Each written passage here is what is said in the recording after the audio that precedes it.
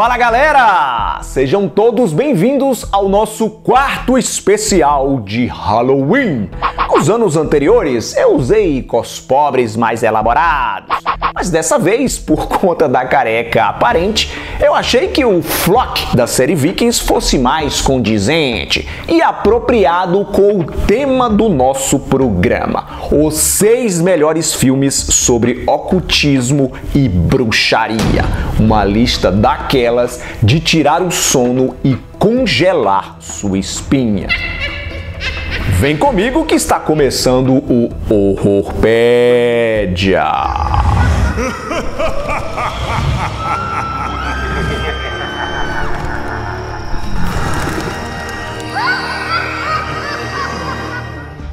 Na hora de elaborar essa lista, eu criei três regras básicas. Preste atenção. Primeira, aventuras, comédias e afins não valem. O objetivo aqui é encontrar produções assustadoras. Então, não espere ver na lista A Convenção das Bruxas, Abracadabra, Elvira, Rainha das Trevas, que mais? As Bruxas de Eastwick, etc, etc, etc. Documentários também foram excluídos. Segunda regra: longas metragens que usam o tema como alegoria para falar de outras coisas não contam. Exemplo: As Bruxas de Salem, de 1996, com Daniel Day-Lewis e a Winona Ryder, e o recente A Bruxa, de 2015. Se você acha que esses filmes falam de bruxaria, precisa revê-los imediatamente com outros olhos. A terceira regra é que a presença da bruxa, do bruxo ou do ocultista é dispensável, mas o filme precisa mostrar, não necessariamente de maneira explícita, os rituais de magia. Sendo assim, ficaram de fora clássicos como A Máscara de Satã, Suspiria, o Found Footage A Bruxa de Blair entre outros. Captou a essência da lista? Então vamos lá. Só lembrando que se você ainda não é assinante do canal, clique no botãozinho vermelho, inscreva-se e ative o sino de notificação para ser avisado, avisada sempre que rolar um programa novo. Ok? Muito bem.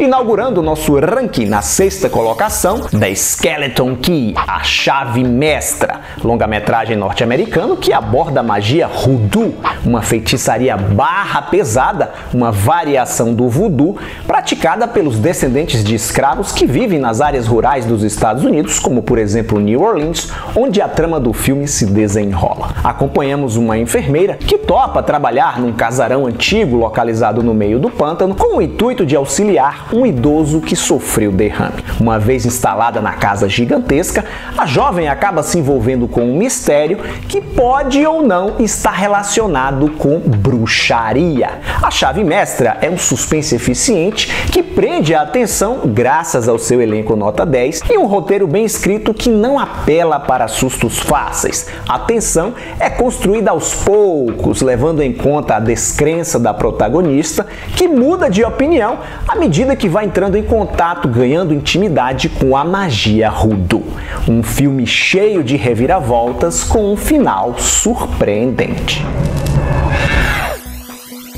Chegando em quinto lugar, The Wicker Man, O Homem de Palha, produção britânica da década de 1970, que envelheceu pouco e ainda causa incômodo com sua atmosfera bizarra e psicodélica.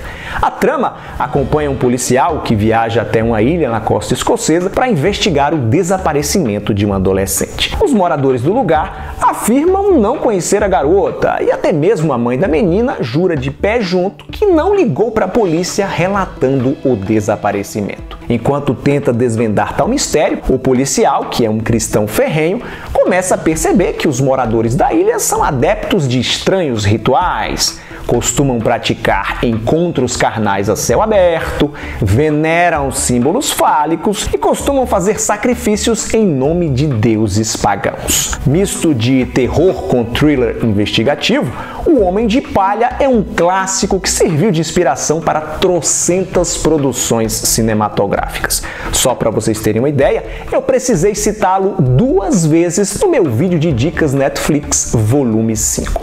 Assista, vale muito muito a pena. Mas cuidado para não confundir com o remake de 2006 protagonizado por Nicolas Cage. Aqui no Brasil, a refilmagem recebeu o nome de O Sacrifício, mas em inglês o título é o mesmo, The Wicker Man. O original é de 1973 e conta com a participação de Christopher Lee. Na quarta posição temos a Dark Song, coprodução Reino Unido e Irlanda de 2016, que definitivamente não é indicada para o grande público por conta do seu ritmo lento que exige paciência do espectador. O filme conta a história de uma jovem mãe que contrata um ocultista no intuito de estabelecer contato com o seu falecido filho. O ritual é perigoso, o processo é demorado e, para tanto, ambos terão que ficar meses isolados em uma casa de campo cumprindo várias tarefas. Quem acompanha o canal há mais tempo conhece essa pérola, já falei dela em outras ocasiões. Inclusive, no meu vídeo de melhores filmes de 2017, muita gente comentou sobre a exatidão dos rituais de magia apresentados no longa, que correspondem ao ritual de Abremalim. Se o critério dessa lista fosse fidelidade, com certeza a Dark Song estaria na primeira colocação. Chegando em terceiro lugar, o horror sensação de 2018, o Hereditary, Hereditário, longa-metragem que perturba, que incomoda, que mete medo, sem recorrer a clichês e muito menos jump scares. A trama gira em torno da família Granham, que após a morte da sua matriarca, descobre estar ligada a segredos macabros. Estranhos e terríveis eventos passam a acontecer com todos eles, sobretudo com a garotinha Charlie, que era a pessoa mais próxima à avó recém-falecida. Por pouco, Hereditário não entrou nessa lista, visto que até em seus momentos mais iconográficos, ele permite que o espectador tenha interpretações não óbvias óbvias em relação à trama, vamos chamar assim, algo que iria de encontro à minha segunda regra. Mesmo com esses simbolismos, com essas alegorias, há espaço para o sobrenatural. O roteiro é ambíguo nesse sentido, então eu decidi mantê-lo. Um terror genuíno, indicado para quem curte filmes tensos e intensos. Chegando na segunda colocação, Angel's Heart, Coração Satânico, combinação de filme noir e terror sobrenatural, escrito e dirigido por Alan Parker em 1987.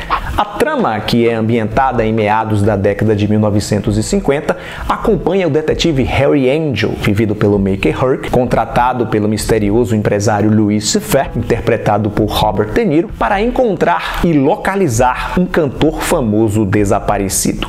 À medida que investiga o paradeiro do tal músico, Harry vai se envolvendo com pessoas perigosas, assassinatos e magia negra. Coração Satânico é uma experiência incômoda, não só por conta da sua trama cheia de simbolismos, onde o sangue jorra com gosto em vários momentos, mas também por causa da trilha sonora, que mistura jazz, blues com gemidos, sussurros, batidas de coração e ruídos indecifráveis, algo que dá nos nervos. Uma obra visualmente impactante, um trabalho fantástico do diretor Alan Parker, com momentos memoráveis, atuações incríveis do elenco principal.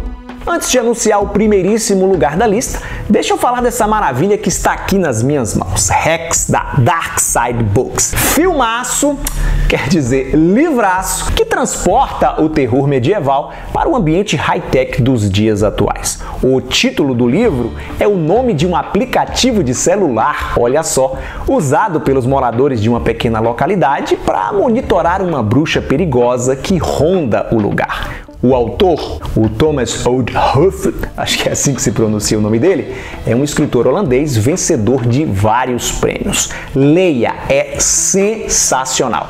Vou deixar o link na descrição do vídeo para que você possa comprar a sua edição. Terror psicológico de primeira, com a qualidade caveira que você já conhece. De volta ao nosso ranking, ocupando o lugar mais alto do pódio, Rosemary's Baby, O Bebê de Rosemary, o clássico absoluto de 1968, dirigido por Roman Polanski. A trama acompanha Rosemary Woodhouse, interpretada pela Mia Farrow, uma jovem que casa com um ator de Hollywood e se muda para um apartamento chique de Nova York. Lá, ela e seu marido passam a conviver com dois velhinhos simpáticos, vizinhos que desconhecem o significado da palavra inconveniência. Volta e meia estão fazendo piseiro no apartamento da Rosemary e quando ela engravida, aí é que eles não deixam a pobre garota em paz. Ao investigar o passado dos idosos, Rosemary começa a desconfiar que eles podem estar metidos num plano macabro que envolve não só ela, como também o seu filho. O bebê de Rosemary, apesar dos seus 50 anos de idade, envelheceu quase nada, continua uma obra perturbadora e angustiante que vai na contramão das produções atuais. Não tem gore, não apela para jump scares, não tem pressa em contar sua história e mete medo sendo o mínimo expositivo possível. Se você se considera fã de terror e ainda não viu esta obra-prima, corra, assista para limpar essa mancha do seu currículo cinematográfico. Muitas histórias escabrosas rondam o bebê de Rosemary, envolvendo acidentes nos sets de filmagem e coincidências macabras. Se esse tipo de curiosidade lhe interessa, assista ao vídeo que está aparecendo no card, um programa bem legal que eu gravei há alguns anos, citando não só o bebê de Rosemary, mas outros longas-metragens marcados por maldições, como por exemplo O Corvo, Poltergeist e A Profecia. Gostou da lista? Deixe sua opinião nos comentários. Conhece outros filmes que obedecem minhas regras e poderiam estar no ranking? Deixe suas sugestões nos comentários. E lembre-se também, claro, do like maroto e compartilhar, divulgar o vídeo com seus amigos nas redes sociais. Gostaram da minha camiseta? Criação do Anderson Devil especialmente para o especial de Halloween. O cara é fera. Vou deixar o Insta dele na descrição do vídeo para você conhecer o trabalho desse artista incrível, brasileiro que faz sucesso lá na gringa. Sabe o que também tem na descrição do vídeo? O link para você comprar essa camiseta com frete grátis. Aproveite porque é promoção por tempo limitado, somente através do link que está na descrição. Já falei demais. Feliz Dia das Bruxas ou Feliz Dia do Saci, como queira. Tchau e até a próxima.